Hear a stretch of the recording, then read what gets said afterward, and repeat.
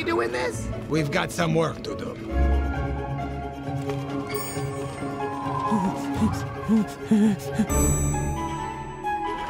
We shouldn't be up here, Drac. Who's ready to fly? Me, me, like a superhero. Better, like a vampire. He's half human. Maybe the kid isn't supposed to fly. Quiet. This is how they learn. You throw them and they figure it out. It's how I was taught. I want to fly now. Ah, the bat. You know Grandpapa's right here if you need him. Uh, I can't watch this. Please don't. Here we go!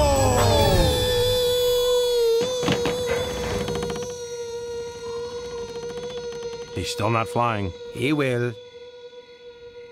Still not. It'll happen.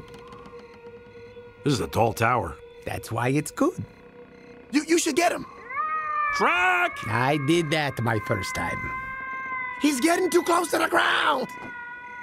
You know what? He's not gonna fly.